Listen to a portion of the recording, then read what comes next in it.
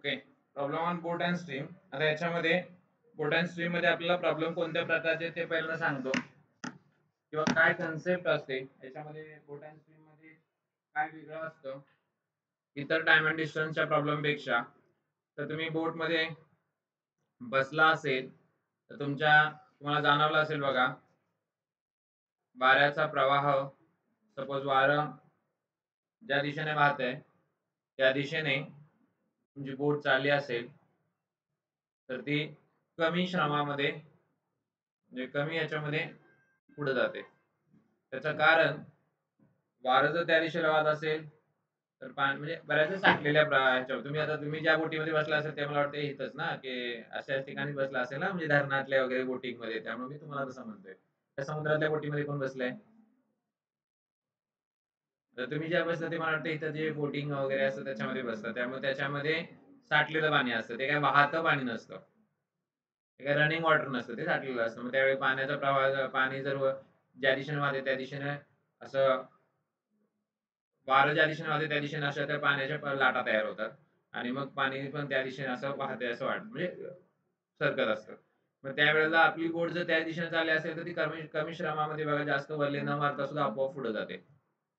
वल्ले न मारता तुम्ही जर तसल्या बोटीत बसला असेल ते वल्ले मारण्याची तसल्या बोटीत जर बसला असेल ते वल्ले न मारता सुद्धा आपोआप त्या दिशेला जाते. पण त्याच्या उलट जर सपोज वारं त्या दिशेने वारं ज्या दिशेने वाजते त्याच्या उलट दिशेने जर तुम्ही चालला असला तर मात्र तुम्हाला ते जास्त श्रम घ्यावे लागतात.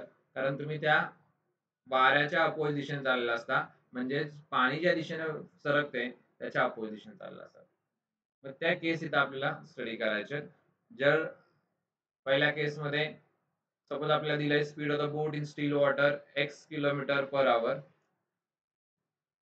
आता हे जे स्पीड ऑफ द बोट दिलंय ते कसं दिलेलं आहे? Speed of boat in still water पाणी शांत असताना.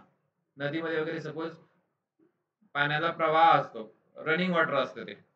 मग सपोज नदी या दिशेने वाहते डायरेक्शन ऑफ स्ट्रीम म्हणजे नदीच्या प्रवाहाचा वेग कोणत्या डायरेक्शनला आहे? या दिशेला इकडं. दुसरा कलर घेतो. नदीच्या प्रवाहाचा कलर कोण नदीच्या प्रवाहाचा डायरेक्शन कोणती आहे? या साईडला आणि सपोज बोट पण या दिशेला चालली तर तो प्रवाह त्या बोटला म्हणजे ते वाहणार पाणी त्या बोटला सपोर्ट करेल का अपोज करेल? सपोर्ट करणार आहे. कारण दोघ नाही ते मी बघायला सांगितले speed of the boat in still water is X kilometre बोटीचा शांत पाण्यातील वेग किती आहे? एक्स आहे. आणि स्पीड ऑफ द स्ट्रीम आता वाहत्या पाण्याचा विषय येतोय. स्पीड ऑफ द स्ट्रीम म्हणजे करंट किंवा speed of the running river running water म्हणतात किंवा स्पीड ऑफ रिव्हर म्हणतात ते किती आहे? वाय किलोमीटर पर आवर मग आता इथं पाण्याचा प्रवाह वाहण्याचा वेग आहे ना तो वाय आहे. आणि नदीचा जो स्वतःचा वेग आहे म्हणजे जो स्टील वॉटर मधला वेग असणार तो नदी याचा कुणाचा? बोटचा. स्वतःचा जो वेग आहे ना तो किती आहे? एक्स किलोमीटर पर आवर पाण्याचा किती आहे? म्हणजे रनिंग वॉटरचा स्पीड किती आहे? वाय ज्याला स्पीड ऑफ द स्ट्रीम पण म्हणतात. स्पीड ऑफ द करंट सुद्धा म्हणतात. आणि स्पीड ऑफ वॉटर असं सुद्धा म्हणतात. तो किती आहे? वाय आता आपण जे बघितलं की ज्या दिशेने पाणी वाहत आहे त्याच दिशेने जर बोट चालली असेल तर ते पाणी त्याला सपोर्ट करतं. ऑब्विसली त्याचं स्पीड वाढतं. आणि वाढतं म्हणजे किती होतं? तर या दोघांची बेरीज होतं. म्हणजे X plus Y kilometre per for example suppose या ठिकाणी speed of the boat in still water is ten kilometre per hour असेल आणि speed of the stream is two kilometre per hour असेल तर ही जी केस आहे या केसला म्हणतात डाऊन स्ट्रीम काय म्हणतात? डाऊन स्ट्रीम डाऊन स्ट्रीम म्हणजे कोणती? तर अलॉंग द स्ट्रीम बोट कुठे चालली आहे? अलॉंग द स्ट्रीम म्हणजे स्ट्रीम सोबत स्ट्रीमच्या दिशेनेच चाललेली असते. त्या केसला म्हणतात डाऊन स्ट्रीम आणि त्या केस मध्ये स्पीड काय होतं मग? X plus Y kilometre per hour म्हणजे त्या वरच्या केसमध्ये स्पीड काय असणार आहे?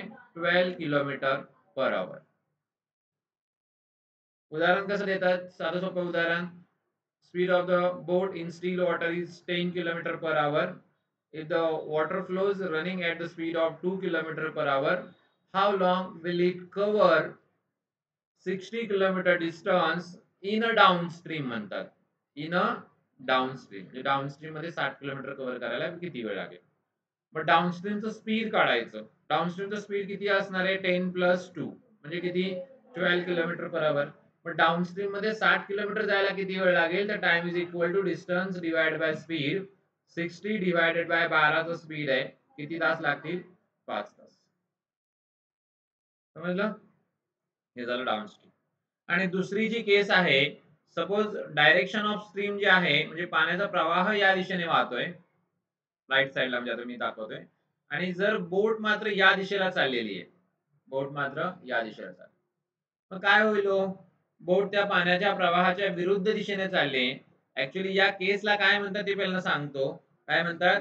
अपस्ट्रीम म्हणजेच काय? तर अगेन्स्ट द स्ट्रीम म्हणजे प्रवाहाच्या विरुद्ध दिशेने. Against the stream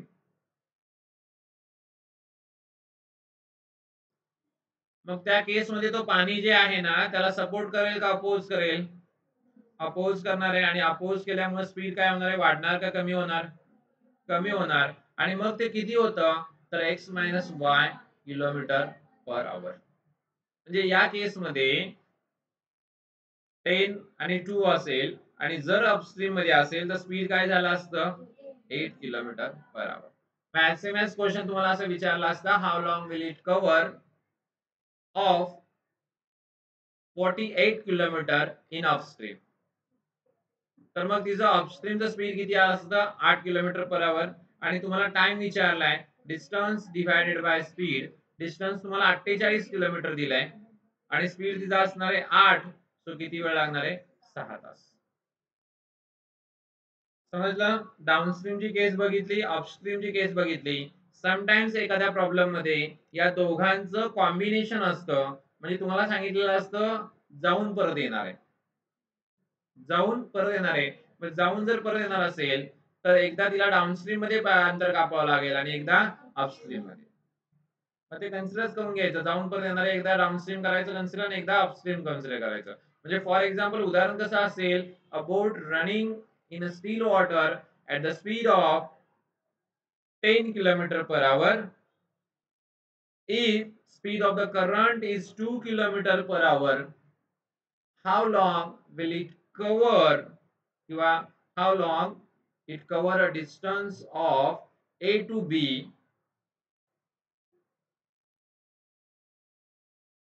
24 kilometer and return to its original position. Your return its original place.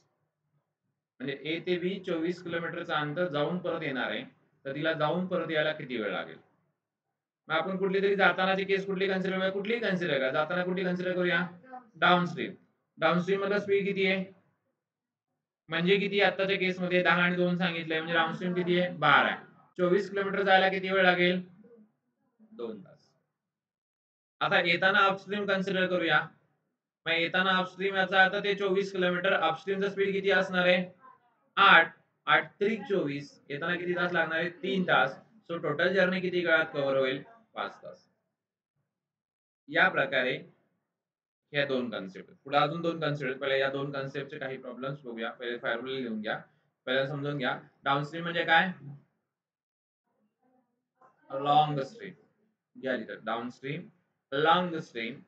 and the speed is equal to sum of the boat, sum of the speed of boat and speed of stream.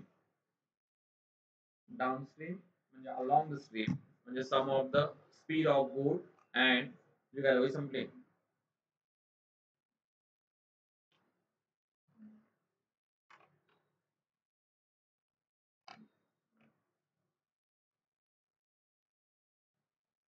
आणि upstream against the stream and the speed is equal to difference of the speed of boat and speed of stream Difference of speed of boat and speed of stream.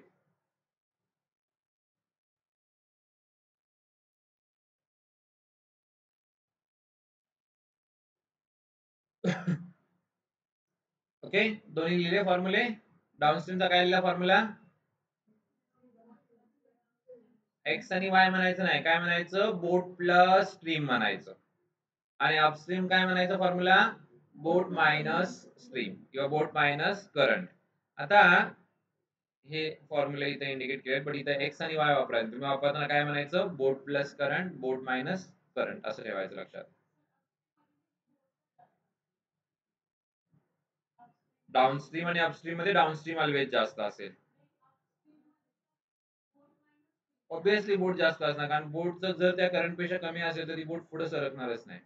समजते का? पाणी जास्त अपोजनं face करते आणि ह्याची ताकद कमी पडते तर हे पुढे जाईल का? नाही ते माग मागत जाईल असं होणार आहे. सांगितलं का मागाशी?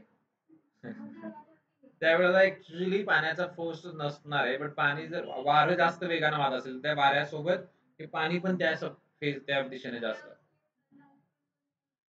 असणार की जर पाण्याला प्रवाह तयार झाला असेल त्या वाऱ्यामुळं ते पाणी वाहत असेल पाणी वाहतं वाऱ्यामुळे इकडून तिकडं असं सरकतं. मग त्यावेळी त्याला येणार की वार नसेल तर ते स्टील वॉटर झालं. तर ते शांतपणे झालं. तिथं मग तुम्हाला तुमची बोट जर पुढे सरकवायची असेल तर इथं तुम्हाला इंजिन तो बोटीचा तो सिग्नल तो तो बोटीचा स्पीड तुम्ही युजलसाठी वापरा तिथे तुम्हाला डाऊनस्ट्रीम अपस्ट्रीम केस केव्हा तयार होईल?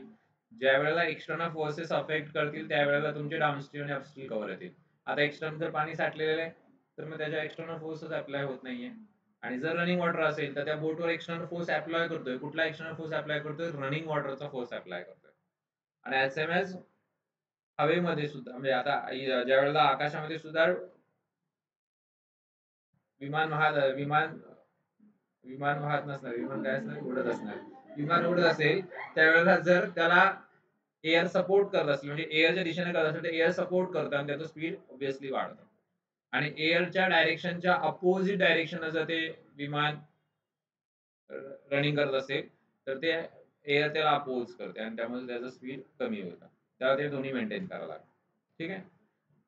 आता हे झालं अपस्ट्रीम डाऊनस्ट्रीम आता त्या दोन याच्यावरनं परत अजून दोन कन्सेप्ट तुम्हाला मी ज्या म्हटलं आता इथं आपण सपोज डाऊनस्ट्रीमला इंडिकेट काय करूया? डी ने इंडिकेट करूया. डाऊनस्ट्रीम स्पीडला इंडिकेट काय करतोय मी? डी न. आणि अपस्ट्रीम स्पीडला काय इंडिकेट करतोय? यू ना. म्हणजे मगाच्या उदाहरणामध्ये डाऊनस्ट्रीम तुमचा किती आला होता? बारा. आणि अपस्ट्रीम किती होता? आठ. या दोन व्हॅल्यू वरनं तुम्हाला speed of the boat in still water speed of boat in still water आणि स्पीड ऑफ स्ट्रीम काढता येतं. स्पीड ऑफ बोट पण काढता येतं आणि स्पीड ऑफ स्ट्रीम पण काढता येतं. स्पीड ऑफ बोट काढायचं असेल तर काय करायचं? D plus U divided by two D plus U divided by two किती आहे डी डी किती आहे? बारा. प्लस यू किती आहे? आठ divide by two twelve plus eight twenty by two ten kilometre per hour किती होतं मगाशी बोटचं speed ten kilometre per hour होतं. बघा. किती होतं बोटचं स्पीड घेतलं होतं आपण? टेन किलोमीटर पर आवर आणि याच्यावर ना स्पीड ऑफ द स्ट्रीम काढायचा असेल तर दुसरा फॉर्म्युला हा झाला फर्स्ट आणि दुसरा formula speed of the boat काढायचा असेल sorry speed of the stream काढायचा असेल तर काय करायचं? D minus U divide by two divide by two का? कारण मगाशी downstream is equal to X plus Y घेतलं होतं तुम्ही किंवा बोट प्लस करंट घेतलं होतं. आठवते का? आणि अपस्ट्रीम इज इक्वल टू काय घेतलं होतं? बोट मायनस करंट तर दोघांची ऍडिशन केली तर two times of B is equal to इकडे D plus U L is equal to आणि ह्याच्यावर बी इज इक्वल टू हे टू इकडे आल्यावर डिवाइड होईल. म्हणजे D plus U divide by two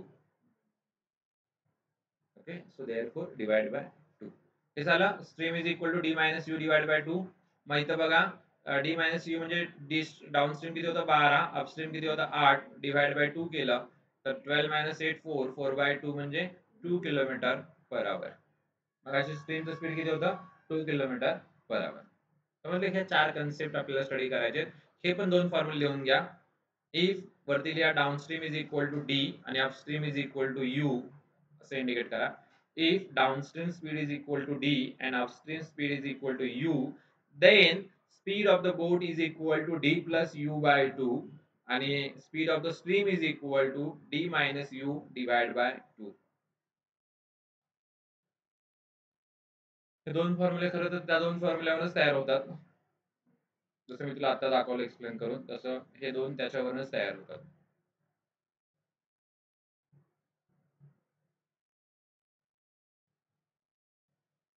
समजलं? स्पीड ऑफ द बोट काय? D plus U by two आणि स्पीड ऑफ द स्ट्रीम काय? Shraddha? D minus U divide by two a boat can travel उदाहरण सोडूया आता. A boat can travel with the speed of with the speed म्हणजे काय? Along the stream with the stream म्हणजे along the stream आणि along the stream म्हणजेच काय? Downstream sixteen kilometre per hour in still water travel with the speed 16 kilometer in still water. If the rate of the stream is 5 kilometer per hour, then what is the time taken by boat to cover the distance of 84 kilometer in downstream? Okay. A boat can travel with the speed of हा sorry हा इथं with the speed म्हणजे along the street नाही बघा इथं with the speed of म्हटलेलं आहे. With the speed म्हटलं वेगळं. विथ द स्पीड म्हणजे स्पीडच्या दिशेने, पण इथं विथ द स्पीड ऑफ़ म्हणजे तेव्हा कशाचं बोट कशाचं स्पीड दिलं हे? बोटचं दिलेलं आहे. ते डाऊनस्ट्रीम नाहीये ते बोटचं आहे. मग स्पीड ऑफ द बोट किती आहे? तर सिक्स्टी आणि स्पीड ऑफ द स्ट्रीम किती आहे? फाय आता काय करणार सांगा बरं? आपल्याला डाऊनस्ट्रीममध्ये चौऱ्याऐंशी किलोमीटर कव्हर करायचे म्हणजे आपल्याला काय काढलं पाहिजे? डाऊनस्ट्रीम स्पीड काढलं पाहिजे. काय येईल डाऊनस्ट्रीम स्पीड सांग बरं? Downstream speed is equal to काय? Sum of the boat and stream मग बोट प्लस स्ट्रीम बोटचं किती आहे? सोळा. करंट स्क्रीन स्ट्रीमचं किती आहे पाच so twenty one kilometre per hour downstream speed किती twenty one kilometre per hour आणि मग टाइम किती लागेल distance divided by speed distance आहे एटी फोर किलोमीटर स्पीड आहे twenty one kilometre per hour four hours time लागेल four hours time लागेल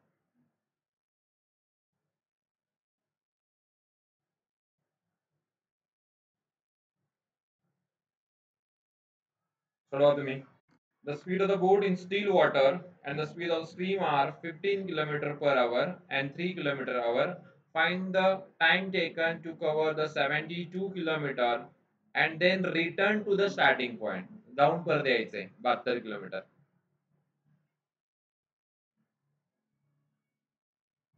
boat च पंद्रह स्ट्रीम च तीन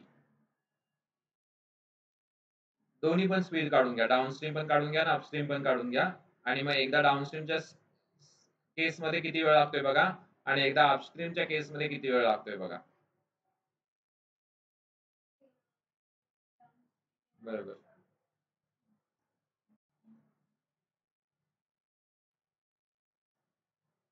Downstream speed is equal to boat plus current म्हणजेच पंधरा अधिक तीन अठरा.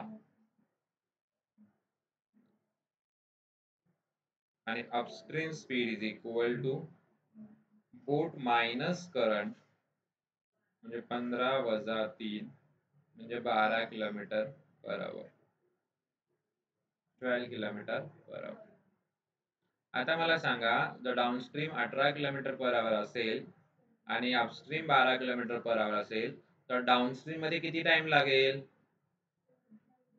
Seventy two divided by eighteen तो किती लागणार? चार तास. आणि अपस्ट्रीममध्ये किती टाइम लागेल? तर seventy two divide by twelve six hours so total addition किती येईल? टेन आवर्स टोटल ऍडिशन किती येईल? Ten hours the speed of the boat with the stream आता इथं विथ द स्ट्रीम आहे बघा. मी चुकून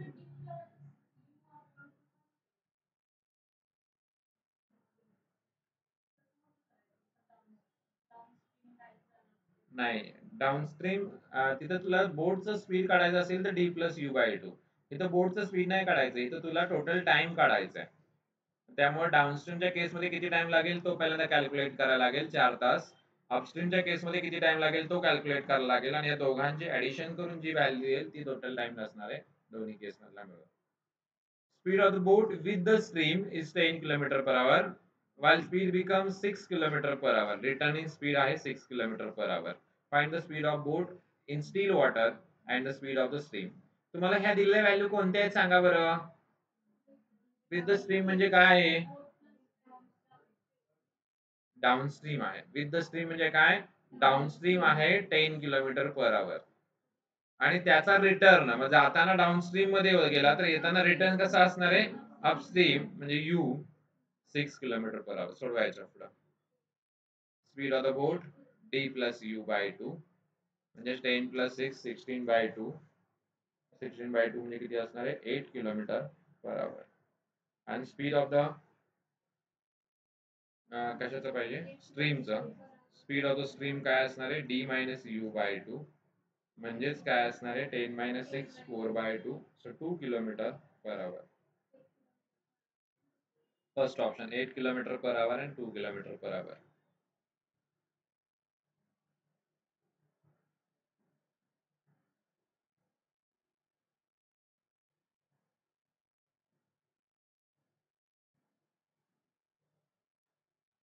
okay A boat goes 48 km downstream in 20 hour. If it take the 4 hour more to cover the same distance against the stream, what is the speed of the boat in still water? What is the speed of the boat in still water? Speed of the boat काढण्यासाठी आपल्याला काय लागतं downstream speed लागतं आणि upstream speed लागतं पण downstream speed नाही इथे दिलं त्यांनी डाऊनस्ट्रीममध्ये किती डिस्टन्स किती वेळामध्ये कव्हर होईल असं सांगितलंय. मग त्याच्यावरनं आपण डाऊनस्ट्रीम स्पीड काढू शकतो का? काढू शकतो. Downstream speed is equal to काय असणार? डिस्टन्स डिवायडेड बाय टाइम किती डिस्टन्स कव्हर केलं? फॉर्टी एट किलोमीटर किती टाइममध्ये? वीस तासात. सो वीस दोन्ही चाळीस आठ उरले. वीस चोक ऐंशी. सो स्पीड काय असणार? Two point four kilometre per hour आणि अपस्ट्रीम स्पीड काय असणार आहे सांगा? Downstream divided by sorry distance divided by time किती डिस्टन्स कव्हर केलं? फोर्टी एट किलोमीटर टाइम किती लागला सांगा? फोर आवर मोर पूर्वी किती होते? वीस तास. त्याच्यामध्ये चार तास एक्स्ट्रा म्हणजे चोवीस. सो चोवीस दोन्ही अठ्ठेचाळीस. So two kilometre per hour मग याच्यानंतर स्पीड ऑफ द बोट काढणं अवघड आहे का? काढा बरं.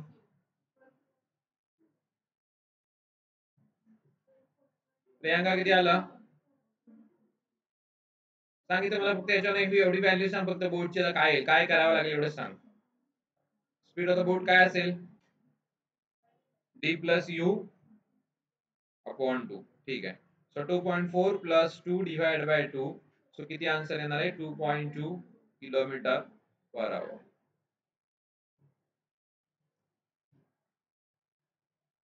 समजलंय? Two point two kilometre per hour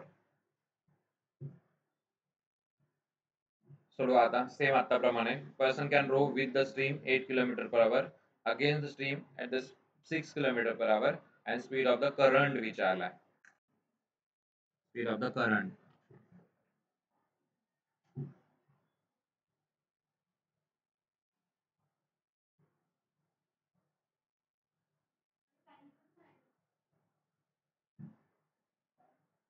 काय? टाइम नाहीये पण काय दिलंय? देताना काय दिलंय? देताना स्पीडच दिलाय ना डायरेक्ट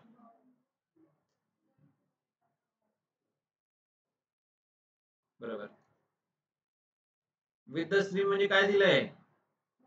तर तुझ्या काय दिलंय? पहिल्या वाक्यात. या वाक्यात काय दिलंय सांग बरं. डाऊनस्ट्रीम स्पीड दिलंय. आणि downstream speed is equal to काय असणार आहे? एट किलोमीटर पर आवर कारण विथ द स्ट्रीम म्हणताय आणि अगेन्स्ट द स्ट्रीम म्हणजे काय दिलंय?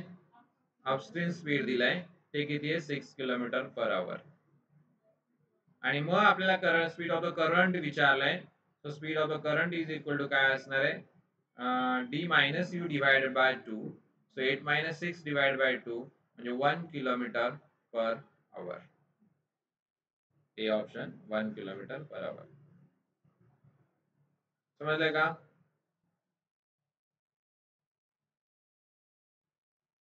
थोड़ा पड़ता a person can row downstream twenty kilometre in two hour and upstream four kilometre in two hour upstream बग का four kilometre in two hour what is the speed of the current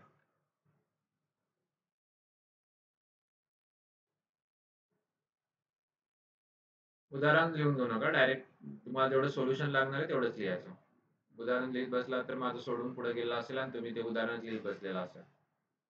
so जेवढं माझं solution येतं ना खाली to to step तेवढ्याच फक्त तुमच्या तिथं पेपरवर येऊ द्या.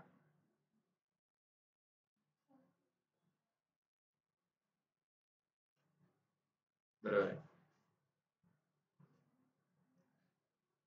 सांग साक्षी. काय काढलं पहिल्यांदा? डाऊनस्ट्रीम काढलं. किती आलं डाऊनस्ट्रीम स्पीड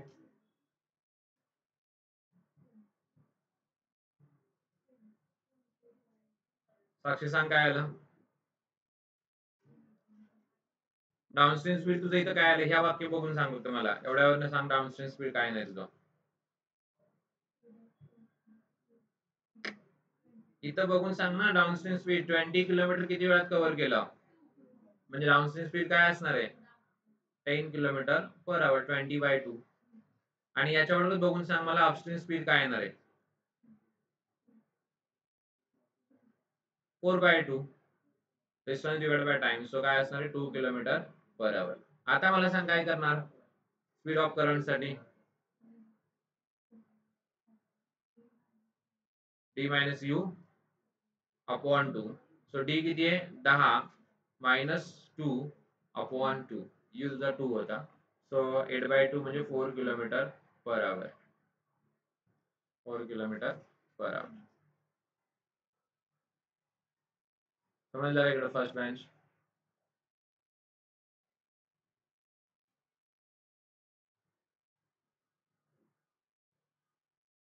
सोडवा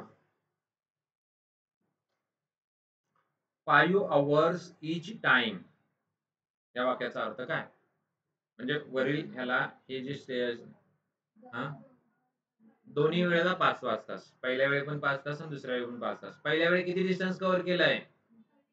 तेरा किलोमीटरला अपस्ट्रीममध्ये पाच तास लागतात आणि डाऊनस्ट्रीमला मध्ये अठ्ठावीस किलोमीटरला पाच तास लागतात. तर वेलॉसिटी ऑफ करंट म्हणजे स्पीड ऑफ करंट काढायचे.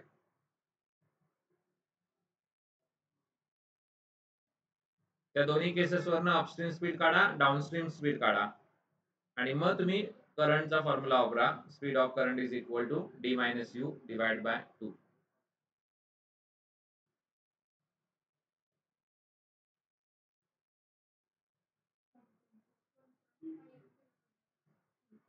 nice correct one point per kilometre per hour आल्या की इकडं? मयुरी? डाऊनस्ट्रीम किती आलं मयुरी? सांग तुझं. असं अपस्ट्रीम सांग पहिल्यांदा किती आलं? अपस्ट्रीम सांग मयुरी किती आलं? तेरा किलोमीटर का जायला किती वेळ लागला? पाच तास. सो पाच दोन्ही दहा two point six kilometre per hour इकडं डाऊनस्ट्रीम काय आलं सांग Mayuri?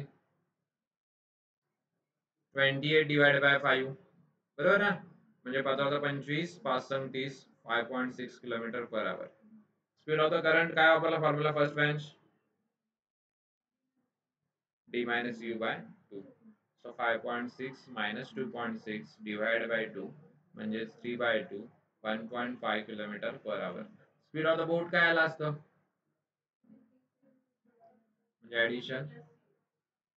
eight point two divide by two म्हणजे four point one kilometre per hour velocity म्हणजे speed motorboat goes 24 kilometer in 2 hour along the stream and 10 kilometer in 1 hour against the stream सोडवायच्या पुढं speed of motorboat विचारलंय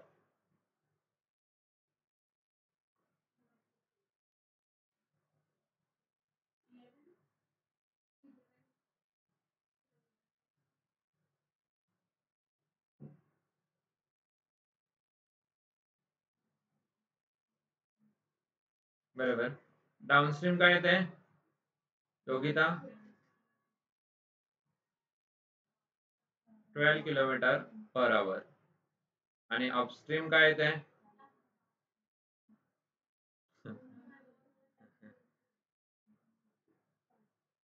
काल ती first बेंचवर बसली होती. ते आज मुद्दाम कोपऱ्यात जाऊन बसली. कारण काल तिच्या मी लय क्वेश्चन विचारले. बरोबर ना?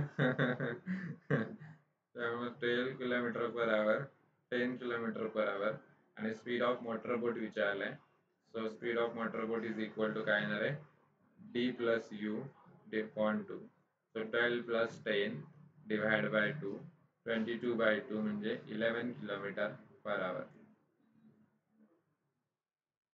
समजलंय का eleven kilometre per hour UPSC CSAT दोन हजार वीस ला। विचारलंय a man take half time in a rowing a certain distance downstream than upstream what is the ratio of speed in still water to the speed of current मला पहिल्यांदा हे सांगा a man take half time in a rowing a certain distance in downstream than upstream ह्या वाक्याचा तुम्हाला काय अर्थ कळला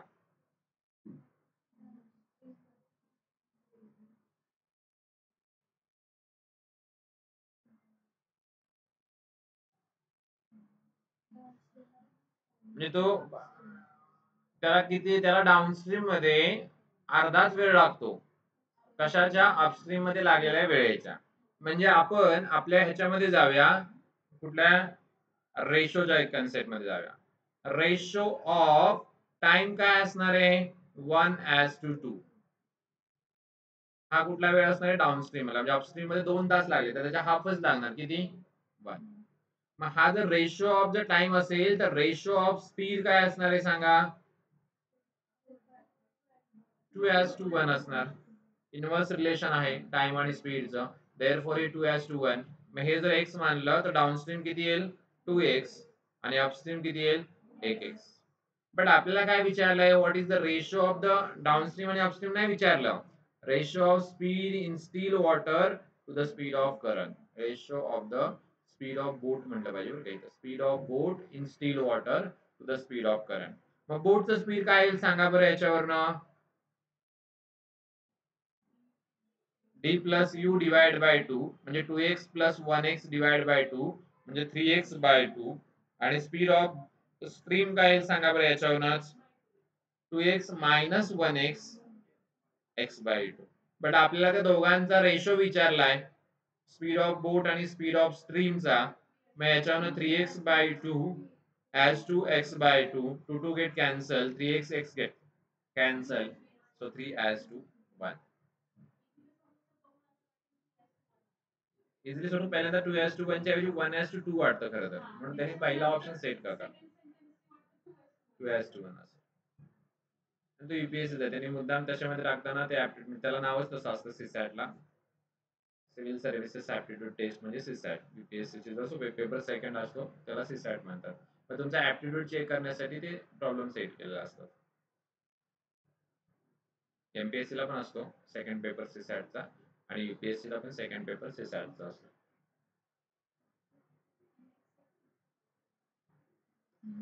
झालं ना ते लिहून झालं ना? बोट कव्हर वाचा. डिस वाचा ते सोपं आहे सोपं आहे झालेलं जरा. झालाय हा टाईप होमवर्क मध्ये घ्या. पुढचा बघूया काय. हा हा सोडवा. Speed of the boat in still water is five hundred percent more than हा आता बीपीएस पी वाला विचारलेला आहे. The speed of the boat in still water is five hundred percent more than speed of the current what is the respective ratio between the speed of the boat downstream and speed of the boat upstream? इथं कुठली concept वापरायची? तर percent more ची concept वापरायची. म्हणजे इन्क्रीमेंटची concept असेल ती का पर्सेंटेजमध्ये शिकवलेली. ती कन्सेप्ट इथं तुम्हाला वापरायची. मग टेन पर्सेंट मोर असेल तर आपण काय करायचो? One ten by hundred multiply करायचो. ट्वेंटी पर्सेंट मोर असेल तर one twenty by hundred multiply करायचो. इथं किती पर्सेंट मोर आहे? फाईव्ह हंड्रेड पर्सेंट मोर आहे. कशापेक्षा? करंटपेक्षा. मग तुम्ही इथं काय दाखवणार? बोट जर करंटपेक्षा पाचशे टक्क्याने जास्त असेल तर स्पीड ऑफ द बोट काय असणार सांगा? Six hundred by hundred of current म्हणजे याच्यानं हे दोन शून्य गेले हे करंट इकडे आल्यावर डिवाइड झालं तर speed of the boat to speed of the current ratio काय असणार आहे? सिक्स ॲज टू वन समजतंय का? हे वाक्य समजलं का? सिक्स हंड्रेड बाय हंड्रेड दोन दोन शून्य गेले सिक्स बाय वन म्हणजे actually speed of the boat is six times of speed of the current आणि इथं जी करंटची फॅक्टर आहे ना तो फक्त मी इकडून डिवाइड केला. तर बोट टू करंटचा रेशो काय असणार आहे? सिक्स ॲज टू वन मग आता नाही का मागाशी आपण त्याच्या आधारे कसं काढलं होतं? तसं तुम्ही काढा बरं डाऊनस्ट्रीम स्पीड काढा अपस्ट्रीम स्पीड काढा आणि त्यांचा रेशो काढा. काय येतोय बघा. आता हा बोट आणि करंटचा जो दिलाय ना सिक्स ॲज टू वन त्याच्यावर एक्स मानून पुढं कॅल्क्युलेट करा. Speed of the boat speed of the current त्याच्या पुढं.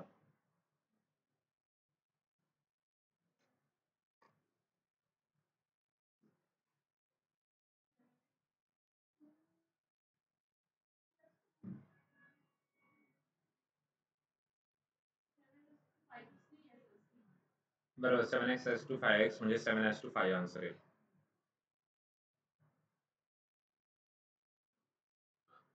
डाऊनस्ट्रीम दोघांची ऍडिशन इथे एक्स मानल्यानंतर हे सिक्स एक्स आणि हे वन एक्स दोघांचे ऍडिशन म्हणजे सेवन एक्स बाय टू आणि अपस्ट्रीम दोघांचे सबट्रॅक्शन म्हणजे five X by two so downstream seven X by two आणि upstream five X by two आपल्याला या दोघांचा काय पाहिजे? रेशो म्हणजे seven X is to five X म्हणजे seven is to five seven is समजले का? प्रॅक्टिस तुम्ही ज्या वेळेला याच्यावर अजून एक वीस पंचवीस प्रॉब्लेम सोडवचाल एक तर फास्ट ट्रॅक सोडवचाल किंवा दिशा सोडवचाल किंवा आर एस एल सोडवचाल ह्या ज्यावेळी कन्सेप्टचं रिव्हिजन वन टाइम्स होईल ना वन ऑर टू टाइम्स त्यावेळेला थर्ड वेळेला तुम्ही बरोबर तुमच्या डोक्यामध्ये तो पाथ तयार होतो प्रॉब्लेम बघितल्यानंतर. तो पाथ क्रिएट होण्यासाठी तो पाथ तयार होण्याचं हे होण्यासाठी थोडं प्रॅक्टिस महत्वाचं आहे.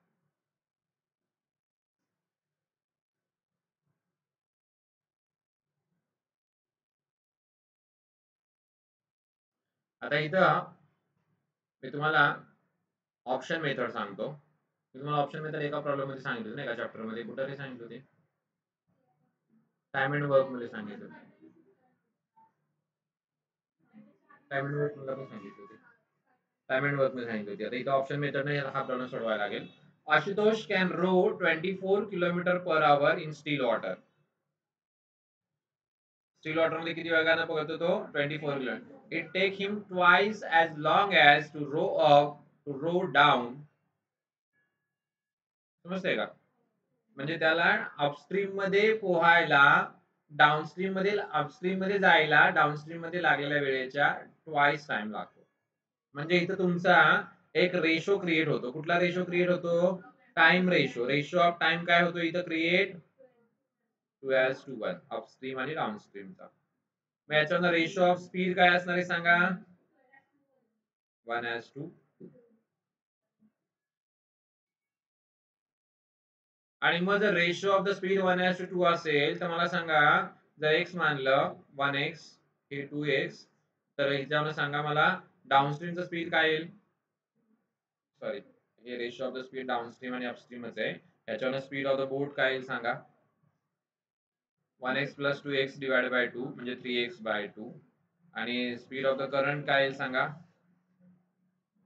Two X minus one X म्हणजे one X by two but वरती काय दिलंय? म्हणजे काय दिलंय? स्पीड ऑफ द बोट दिलंय खरं तर ते. बघा ना स्टील वॉटरमध्ये दिलंय. म्हणजे ते कशात दिलंय? बोटचं किती दिलंय three X by two is equal to twenty four याच्यावर चोवीस दोन अठ्ठेचाळीस. Three X is equal to forty eight therefore X is equal to किती आहे सोळा. आणि एक्स इज इक्वल टू सोळा जर इथं डिवाइड सबस्टिट्यूट केलं तर किती असेल? एट किलोमीटर पर आवर हे मी तुम्हाला बाय युजल मेथड सांगितलं. तर ऑप्शन मेथड म्हटलं पण युजल मेथड सांगितलं. आता ऑप्शन मेथड सांगतो. हे युजल मेथड ना म्हणजे by concept presentation concept representation calculation या स्टेपनं बघितलं. आता आपल्याला ज्यावेळी ऑप्शन मेथडमध्ये जायचं असतो त्यावेळी सपोज काय करायचं असतं? हा जो पहिला आहे तो ऑप्शन समजायचा असतो. मग आता बोर्डचं स्पीड इथं चोवीस आहे. आणि करंटचं स्पीड जर चार असेल तर डाऊनस्ट्रीम किती होईल हो? अठ्ठावीस. आपण ऑप्शन घेतोय ना. ऑप्शन मेथडमध्ये फर्स्ट ऑप्शन इज आन्सर असं कन्सिडर करतोय. तर मग डाऊनस्ट्रीम किती होईल? अठ्ठावीस. आणि अपस्ट्रीम किती होईल? वीस. डाऊनस्ट्रीम अपस्ट्रीमचे दुप्पट आहे का? दुप्पट पाहिजे. कारण ऍक्च्युअली टाइममध्ये अपस्ट्रीमचा टाइम दुप्पट आहे. तर स्पीडमध्ये डाऊनस्ट्रीमचा दुप्पट पाहिजे. मग इथं नाही होते. दुसऱ्या केस आपण घेऊया. बोटचं चोवीस आणि करंटचं अठरा. डाऊनस्ट्रीम काय होईल सांगा? चोवीस आणि अठरा बेचाळीस. आणि अपस्ट्रीम काय होईल सांगा? चोवीस वजा अठरा सहा. डाऊनस्ट्रीम अपस्ट्रीमच्या दुप्पट आहे का? नाही. सेकंड ऑप्शन पण स्किप केला. बोटचं तिसऱ्या ऑप्शनसाठी चोवीस आणि करंटचं आठ. डाऊनस्ट्रीम किती होईल? बत्तीस. अपस्ट्रीम किती होईल? सोळा चोवीस वजा आठ सोळा. डाऊनस्ट्रीम स्पीड अपस्ट्रीमच्या दुप्पट आहे का? याला म्हणतात ऑप्शन मेथडने चेक करणं. एका ऑप्शनला चेक करा एवढ्या जर नऊ सेकंद गेले ना किंवा दहा सेकंद गेले तरी दहा त्रिक तीस सेकंदामध्ये ऑप्शन प्रॉब्लेम सुटतोय मी तुम्हाला त्या दिवशी सांगितलं. होतं ओके तर असं सुद्धा ऑप्शन मेथडनं सुद्धा काही प्रॉब्लेम सोडवता येतात. बाकी युजल वे तर आहेच त्यात काय वाद नाहीये. तर रेशो ऑफ द टाइम दिला होता त्याच्यानं रेशो ऑफ द स्पीड काढला तो एक्स कन्सिडर केला त्याच्या आधारे स्पीड ऑफ द बोट आणि स्पीड ऑफ द करंट काढलं. गिवन प्रॉब्लेममध्ये स्पीड ऑफ बोट दिलं होतं म्हणून ते इक्वेट केलं. त्याच्यानं एक्स ची व्हॅल्यू कॅल्क्युलेट केली आणि ती एक्स ची व्हॅल्यू स्पीड ऑफ द करंटमध्ये सबस्टिट्यूट केली तर येणारा आन्सर किती आहे? Eight kilometre per it is the usual way किंवा it is the bookish method म्हणतात खरं तर याला. ट्रॅडिशनल मेथड किंवा बुकिश मेथड बुकमध्ये असं दिलेलं असं एक्सप्लेन करून. बट तुम्ही असं ऑप्शन मेथड ना error option error option error म्हणजे ऑप्शन यूज केला एरर आला सोडून दिला. ऑप्शन यूज केला एरर आला सोडून दिला. ऑप्शन यूज केला एरर नाही आलेला. As it is condition satisfy होते. So that is the answer प्रत्येक क्वेश्चन नाही काही क्वेश्चनसाठी. ते तुम्हाला ज्यावेळी तुम्ही ही मेथड वापरायला शिकचाल ना त्यावेळेला लक्षात येतं की कुठं वापरायचे आणि कुठं नाही वापरायचे.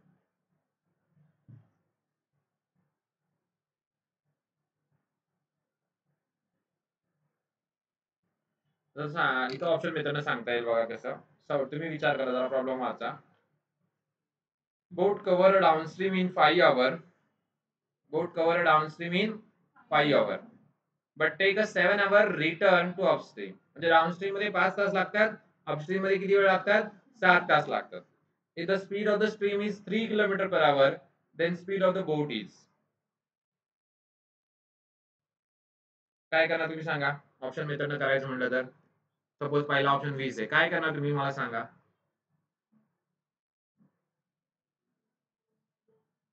Speed of the boat twenty पुढं. स्ट्रीमचं घेणार तीन. डाऊनस्ट्रीम किती होईल? तेवीस. अपस्ट्रीम किती होईल? सतरा. पुढं काय?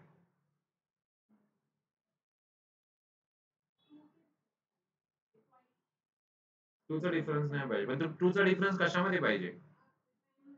टाइममध्ये पाहिजे. आणि हे काय? स्पीड्स आहेत मग असा विचार करायचा ह्याला पाच तास लागतो. म्हणजे तेवीस पाच एकशे पंधरा.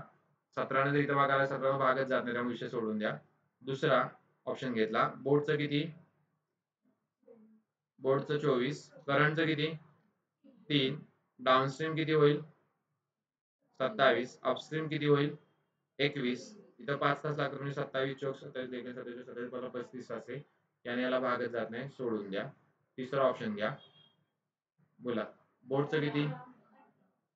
अठरा. करंटचं किती? तीन. डाऊनस्ट्रीम किती होईल? एकवीस. अपस्ट्रीम किती होईल? पंधरा. इथं पाच तास लागतात म्हणजे एकवीस पाचा एकशे पाच. अपस्ट्रीममध्ये किती वेळ लागेल? एकशे पाच मीटर कव्हर करायला? पंधरा साठी पाच कंडिशन सॅटिस्फाय झाली. आणि मग तुमचा आन्सर क्लिअर होईल की अठरा किलोमीटर बरोबर. युजल वेतन सोडवायचं म्हटलं तर येणार आहे. त्यात काय वाद नाही आहे. मग डाऊनस्ट्रीममध्ये पाच तास लागतात. मग तुम्हाला इथं एक डिस्टन्स फिक्स करावा लागेल. एक्स टाइमचा टाइमचा रेशो सपोज जर काय डाऊनस्ट्रीम स्पीडचा टाइमचा डाऊनस्ट्रीम स्पीडच्या टाइमचा ratio five is to seven आला. डाऊनस्ट्रीम स्पीड काय येईल? सेवन एस टू फाईव्ह बरोबर? पुढे सांग. डाऊनस्ट्रीम टाइमचा रेशो काय म्हणतेस? फाईव्ह एस टू सेवन त्याच्यानंतर तुझा स्पीडचा रेशो काय सांग बरं? सेवन एस टू फाईव्ह पुढं काय करणार? डाऊनस्ट्रीम अपस्ट्रीम ओके आता इथं डाऊनस्ट्रीम म्हणजे काय असतं? Boat plus current. आणि अपस्ट्रीममध्ये काय असतं? बोट मायनस करंट मग हे ठेवायचं. Boat plus current divide by boat minus current is equal to seven is to five त्यात पण एक व्हॅल्यू दिली आहे करंटची तीन. बरं ना? समजतंय का? म्हणजे इथं काय येईल? बी प्लस थ्री आणि इथं बी मायनस थ्री क्रॉस केल्यानंतर फाईव्ह बी फाय थ्री जार fifteen seven B seven three जार ट्वेंटी वन हे फाय बी इकडे आलं सबट्रॅक्ट झाले टू बी हे ट्वेंटी वन इकडे आलं ऍड झाले. म्हणजे सिक्स कुठं पोचलो बेज इकडलं थ्री आलं. पण थ्री नाही येणार. काहीतरी चुकलं आपलं मांडायला.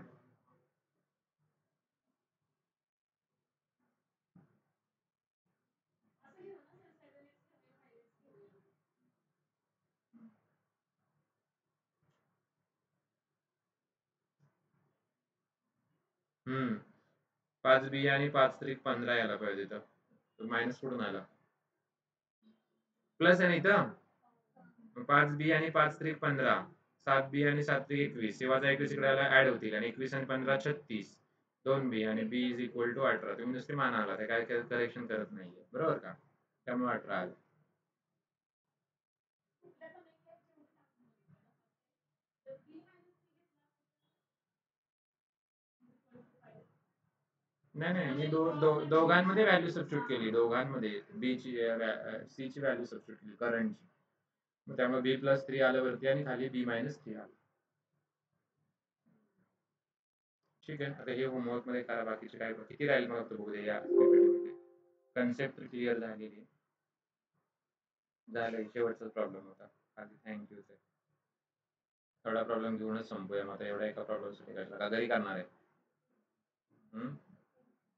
हम्म? करणार ठीक आहे चालतंय करा मग.